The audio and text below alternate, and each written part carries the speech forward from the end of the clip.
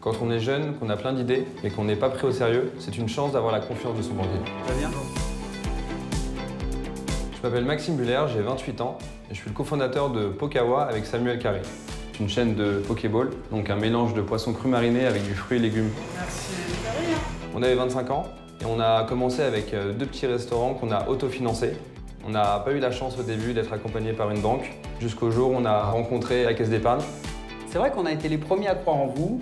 On a cru au concept, à son originalité et à son potentiel de développement. On a tout de suite mis en place un soutien quotidien via des échanges téléphoniques et un accompagnement financier.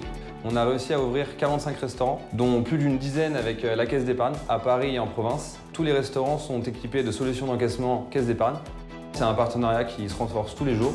Nous, on est fiers d'avoir pu accompagner votre succès et d'avoir pu vous être utile dès le début. C'est aussi ça notre métier.